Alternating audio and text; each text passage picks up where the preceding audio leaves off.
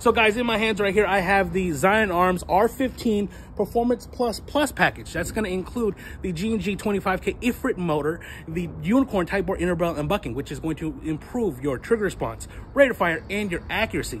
But there's a little method that I would like to show you called accuracy by volume. And the way that it works is you, uh, uh, let, let me just demonstrate.